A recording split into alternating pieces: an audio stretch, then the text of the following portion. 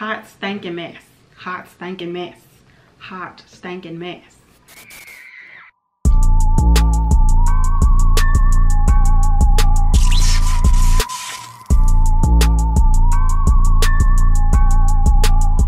Hey guys, what's up? Welcome back to the channel. My name is Kennedy. If you're new here, if you're not new, hey girl, how have you been? Welcome back to another true crime and makeup video. Today's video involves grenades. Yeah, are you ready? It's a lot. Buckle up. I'm not gonna hold you for too long. We can go ahead and hop into today's case. Just make sure you subscribe before you leave. I almost forgot to say that. Subscribe. Subscribe. Mm -hmm. If this was your first time here. You'd think I'd get tired of eating cake, but I literally never do. Okay, let's hop right into today's case. We'll do a more formal introduction when we get our makeup done. We're still test running makeup for the Meg Thee Stallion concert. I'm feeling a oh nasty cat eye, okay? So that's what we're gonna attempt. Always watch one video when I want like a smoky liner. If I don't watch the video, I can't do it right. So I'll link the tutorial in the uh, description but if I don't watch the video first, I won't. Like, I never can do it without the video. Matter of fact, I kicked the camera, my bad. Sorry. I was about to say, matter of fact, I'm gonna go ahead and do my brows while I rewatch this tutorial and then we can hop into the cake. The tutorial I always watch is gone. I'm about to have a fit. What happened to my girl? I can't even remember her name. I used to always watch the video. No tutorial is crazy. None of these other videos look like how she did hers. I don't want to try nothing new. Oh, well, no tutorial. I guess we could just start the case. Oh, gosh. It's not gonna come out right. All right, guys, so for today's case, we are getting to know James Glass, who was a career Marine had been in the Ooh, can we talk? Get it out. Had been in the Marines since the age of 24. As we get into the events of today's case, we're going to start with a little bit of background because I feel it's pertinent to what happens in today's case. But James grew up kind of tough at just five years old. He was removed from his mother's custody because she had recently lost their father. Their father passed away when the kids were very young and she got into a relationship with a man who was very abusive in more ways than one james and his little brother weren't eating and it was so bad that a school teacher noticed what was going on noticed the changes in the boys and asked them what exactly was happening at home and luckily for the boys, James and his brother, the system did right by them. They were removed from the home that they shared with their mother and her new man and placed into foster care by a family who eventually adopted both of them and grew up normally, you could say, after being removed from their mother's care. But when it came down to, you know, raising a family, being a father, and that family unit, James, who went by the name of Houston to fellow Marines, knew what he did and didn't want when it came to like his family dynamic, his family unit, you know, things like that. And y'all know Marines are very disciplined. Like it's like a different type of shit to be a Marine. I had a teacher in high school who was a Marine and he was also a doctor. Extremely disciplined. So he was in the Marines, hopping all over the country, stationed here and there, all over the place. You know, he was dedicated to being a military man. Is it, is Marines, I don't know. Y'all know I never know. I always be confused by that. Child, you know I'm trying to say? He was in Marines and very dedicated to his career. And in 1989, he goes home on a little leave. Back home to his parents, his family. And he hops in the car with his father, who is headed to a dealership to look at a new vehicle. And it's on this little trip that he meets a woman by the name of Wendy McAdory, who would eventually become his wife and mother of his two daughters. They have their first baby in 1991. and then their second in 1993 like i said both daughters and he was just smitten head over heels you know just adored all three of the girls wendy and their two daughters this was exactly what he wanted exactly what he knew he wanted from a little boy but the family gets a little shaken up in 1995 when he is stationed in Japan. So they all have to pick up and move. With a one-year-old, I can't imagine because y'all know, like, I don't know if it's because I'm getting older or the more motherly I get with age. But the more I think about it, the more a one-year-old still is kind of pretty much a newborn. Like some one-year-olds don't even sleep through the night. You know? Now you got to move across the globe then not only were they stationed in Japan, but this is where they were stationed and from there, James would be deployed to other places while they're in Japan. I didn't know it worked like that. I really didn't know. That's a lot. Okay, we're gonna do one eye at a time because I can't lie. Without the tutorial, I don't have much faith in myself because I really don't remember how to do it. like her tutorial is just so thorough. But with James stationed in different places and alone in Japan with the two girls, Wendy finds other ways to occupy her time, if you know what I mean.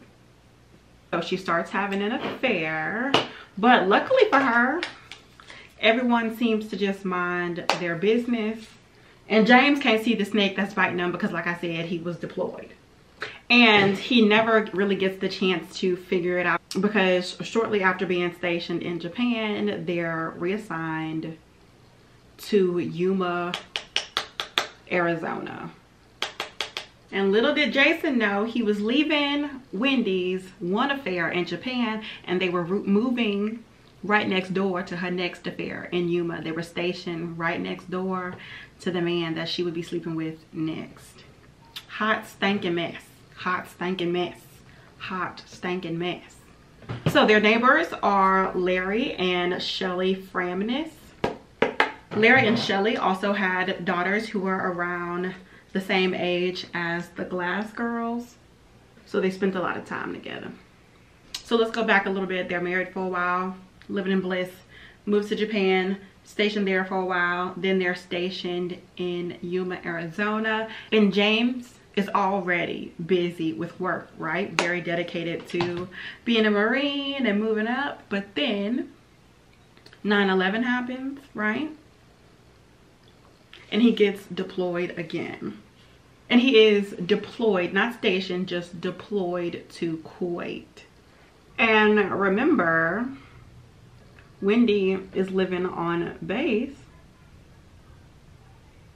Surrounded by other military personnel, fellow Marines and their wives start to notice Larry and Wendy spending more time together, Larry being over at Wendy's house a lot. And y'all know, we know all this chucking and jiving, sleeping with other people's wives and husbands.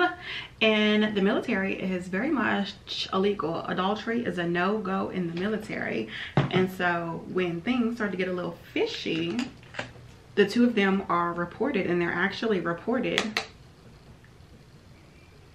by Shelly Framness. She notices and her claims are taken obviously very seriously but they decide to investigate further once James is back stateside. See, this don't look how I wanted to and I'm mad.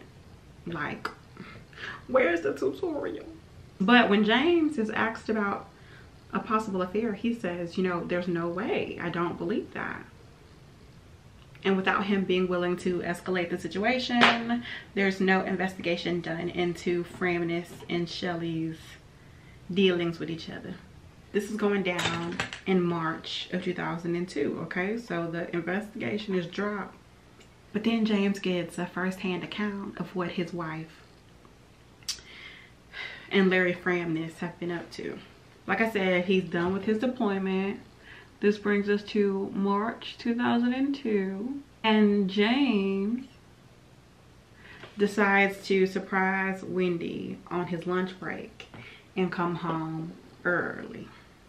He says he goes upstairs and he can hear like rustling around in their bedroom.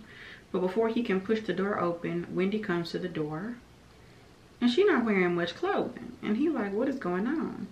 And she not trying to let him in the house or in the bedroom rather. And he kind of like pushes past her. What the hell is going on between the sheets in my home? Okay. But he pushes into the bedroom and he sees Larry Framness on the floor on the other side of their bed trying to hide.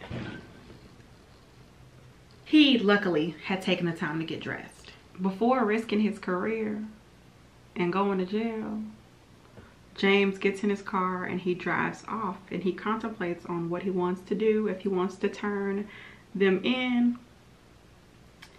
But James knew that would mean Wendy would be kicked off base for the adultery. And in turn she would take his girls with them with her. And james did not want that to happen so he went back to the home and he decided you know that they would settle it amongst themselves without escalating the matter.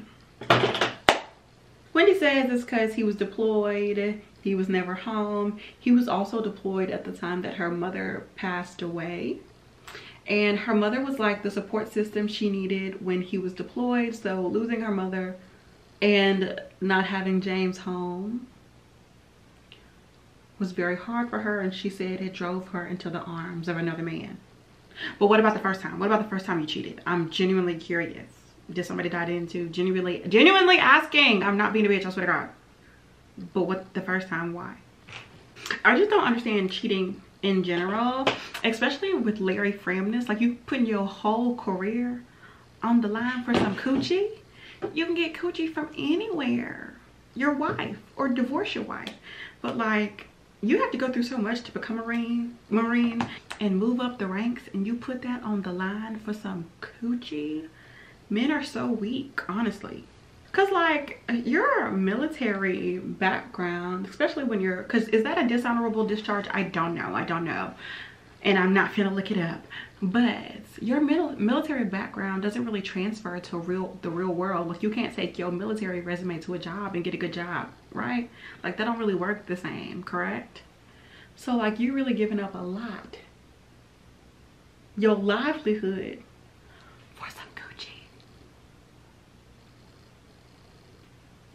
the mail always runs and I feel like the lady always has a package to bring all the way up to the door whenever I'm filming and I just know she hears the most outlandish stuff. Like did she just hear me screaming coochie three times? Probably, probably. But I don't know, maybe I'm just confused about the cheating thing because I've just never had the urge to cheat. Like if I don't want you, I'm gonna tell you I don't want you and move on. I don't know. I just never understood cheating. As a grown person with free will, why are we going by, uh, you know what? It's not for me to understand. But I can definitely understand James keeping the adultery under wraps for the sake of his daughters and being able to come home to his kids every day, you know? But Miss Shelly Framness, mm-mm. Mm-mm. No, no, no, no, no. She said, I don't know what the fuck y'all got going on. And y'all over here like the Brady Bunch. Me and my churn, we about to get the fuck. And she moves to Montana with her kids and gets a divorce. But the two of them work on their marriage. They go to counseling. They put in the work. And things seem to be getting better. James is deployed again. But when he returns home, he's willing to drive up the mountain to save his marriage and they quite literally do that. I know some people out there don't get the references cultural differences but i know the girls that got that got that. Anyway they quite literally drive up the mountain to save their marriage. They go up to some mountains a little cabin town to have some alone time right off of his did y'all hear the birds? Right off of his last deployment they go up to the mountains stay in a little cute cabin but because it's but remember this is right off of his deployment so he's severely jet lagged and just not having the best time because he's just tired, you know? And his severe jet lag probably saved his life, but we'll get back to that in a second, okay? Because he unknowingly on this little mountain trip was surviving one of several attempts made on his life. Mm-hmm. And shortly after, James is sent back to Kuwait. As he is sent back to Kuwait trying to mind his business, um, do what he got to do before he can come back home. His good friend, Larry, is also stationed in Kuwait. Messy. Very messy. And James was originally happy that Larry was also stationed in Kuwait because obviously they can't continue their affair. So you would think with Larry also in Kuwait, right? You would think, but distance don't really stop people from being trifling, you know? And I'm about to tell you just how they did it. But, you know, stationed in Kuwait, Larry's PP is as far away from Wendy as it could possibly be. They decide to, you know, let bygones be bygones and focus on the task at hand. Let work be work. They were both in positions of authority you know, they needed to present a united front to their subordinates. Is that the right word to use? And this brings us to May 13th of 2003. During the day of the 13th, Larry had told James that they needed to look into something, that there was reports of two Marines getting together and doing stuff they had no business doing because they too were married to other people in a guard shack every night, right? crazy as him to be the one to discover these people but larry tells james like hey i need you to come out there and stake out the guard shack with me so we can catch them in the act. And that way it just won't be my word against theirs. Like it'll be both of us there to witness it. So they do just that at around 11 o'clock that night. Larry goes to get james so they could wait it out at the guard shack. So they're in this little guard shack waiting for Ish to pop off for these um, two Marines to come in and they could have their gotcha moment, but that moment never came. So Larry tells James, well, let me go see if they, uh, you know, are in their bunk. Let me go scope the scenery. You stay here in case they come back. And then boom, the guard shack explodes. I wish I was being dramatic. A grenade went off inside of the guard shack. Yeah, a grenade. Mm -hmm. A grenade, a grenade, a grenade, a grenade, a grenade, a grenade. Uh-huh. A grenade. Yeah. But by God's grace, this man, James, is not blown to smithereens. Well, he is blown to smithereens. Lots of shrapnel. He has to be um, airlifted to Spain but he's alive. He walks himself out of the guard shack, totally beaten up, shrapnel in his neck. He had been blown across the guard shack, he said, in an interview with CBS. His wrist had to be reconstructed, tons of lacerations. I mean, he's really badly beaten up, but child, the Marine in him picked himself up and walked him out of that guard shack and seemingly he survived because the grenade had rolled behind a pallet stacked up high of water that they had in this guard shack and the pallet stacked up high of water took the brunt of the force and of course this random single grenade explosion is very strange of course and immediately looked into and obviously they talked to Larry because he was the only person there. And Larry tells them people that it was Al-Qaeda, okay? It was Al-Qaeda, it was Al-Qaeda, that's what he says. But baby, they came and blew up one person? That don't really make sense now, does it? He would have been better off saying he ain't know what the hell happened. You know what I'm saying? But he, child, he blamed the brown people that's another conversation for another day but Nobody's buying that. It doesn't make sense.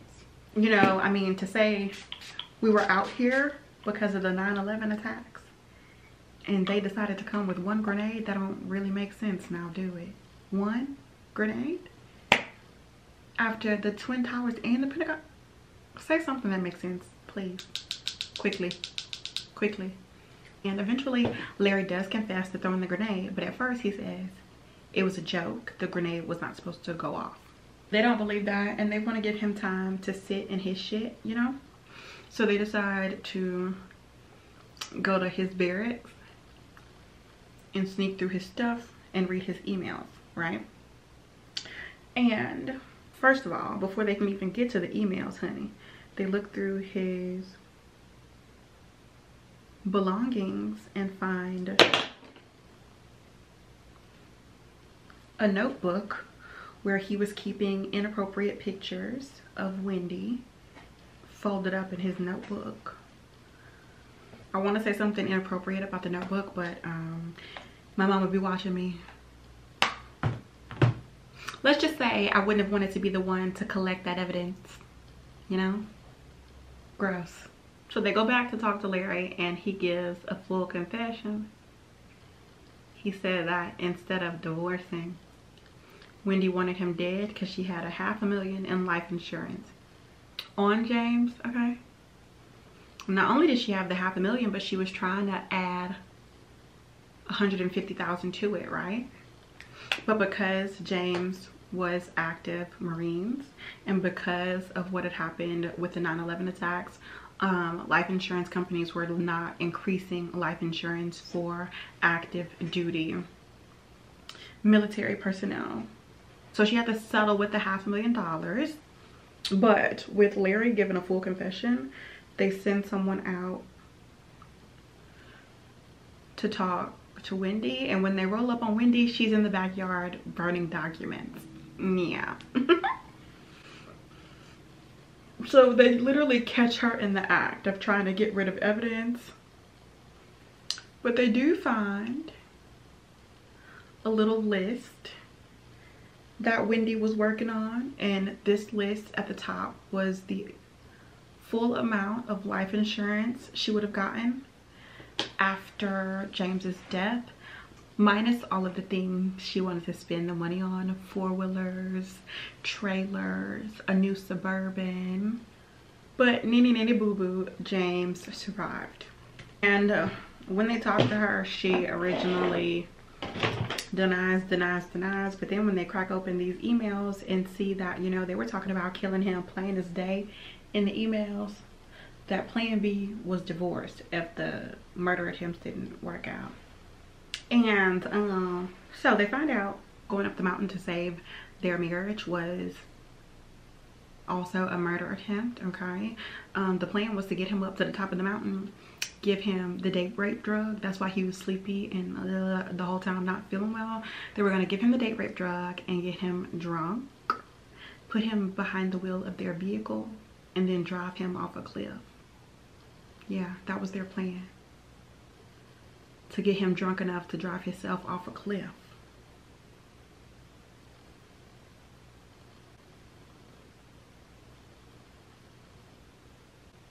They also planned on drugging him again and then having him drown in the bathtub. And not only did they plan on drugging him and having him drown in the bathtub, but they planned on sending his children in to find his body. All of that is in these emails. Hell ain't had enough. Uh, I mean, but this case is just insane. I think throwing a grenade at somebody is probably one of the craziest true crime things we've heard so far. Bitch, a grenade? But since the both of them pretty much confess okay larry is sentenced to 25 to life and i'm sure his wife is glad she got got out of there and went to montana because they probably would have tried to kill her too. Miss wendy is sentenced to seven. Obviously james gets a, a divorce. He is now remarried and in an interview with CBS, he says he didn't realize how much he was manipulated by Wendy until he was remarried and, you know, found true love. And Wendy was released from prison in 2010. And my question to you is what would you do if your new husband, new boo, new man told you that his ex-wife tried to kill him three times? What's the next step? And you would think after trying to kill somebody twice and it not working, you would give up, correct? Well, I guess not in Wendy and Larry's case, you know, they decided to strike out and lose everything in the process. Child and it just always baffles me that people would rather add murderer to their resume instead of getting a divorce. I don't get it. But that is a wrap on today's case. Of course, as always, leave your thoughts, comments, and opinions in the comments down below. And I'll see you next time. Bye, guys. So Bianca Ellis admitted to taking someone else's life three months ago. Bianca is the girl who took three-year-old Julian Wood's life outside of a grocery store just a couple of days ago. Yet she was allowed to just roam the streets the amount of times that this lady has been let go. Let me tell y'all. First, she had a warrant for probation violation in Ohio for misdemeanor theft charges. That was in 2023, but February of this year, she had a warrant in California for battery of a person. From there, she ended up back from California to Ohio in a women's shelter where she admitted to, well, she said she wanted to speak to the police because she had took somebody's life back in California. And so the people at the shelter called the police and told them this woman here wants to admit to taking somebody's life. So she gets on the phone. She tells the police that she took somebody's life in Bakersville, California. She was a white woman, five foot six, about 150 pounds, worked at a bar or was a bartender. She also said she dumped the body in an unknown area, possibly by a river, and she didn't know if the body had been found. So Ohio police called Bakersville, California police detectives, and they said they had several unsolved homicide cases that were similar to what she described, but she wasn't a suspect on neither of those cases. She then goes on to tell the police that if she wasn't taken to jail, she was going to take somebody's life at that shelter and that she wanted to take somebody's life and eat their flesh. So um, California police said, we're not coming to get you. Ohio police said, we're not coming to get you to take you to jail but we will take you to a mental hospital. And that's what they did. But while she was at that hospital, she began to act out and wanted to fight the nurses, the doctors, even the police. They had to sedate her for her own safety and for their safety. At some point, she was let out. Then she ends up in Florida, where she was arrested again for trespassing because she refused to leave the hotel. She was just hanging out at a hotel and would not leave. So she's arrested for trespassing. She's released and she finds her way back to Ohio, where she's arrested for theft again, I believe, but she's released. And a couple days later, she goes and takes Julian's life at that grocery store. Now, I believe there is a possibility that her taking somebody's life in California could be true, or it could just be all made up in her head. But she did warn them that if you don't put me in jail, I'm gonna take somebody's life, and that's what she did. Her next court appearance is June the 17th, so maybe something else will come out then.